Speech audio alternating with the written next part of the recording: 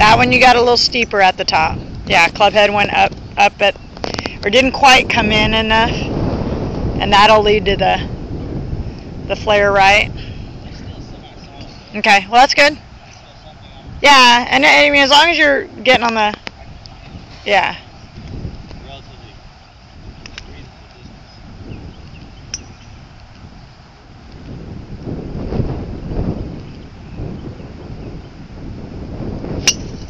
That one's a little steep as well.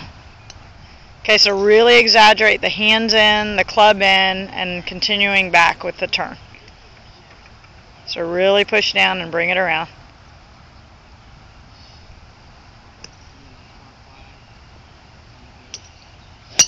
That was better. How'd that feel?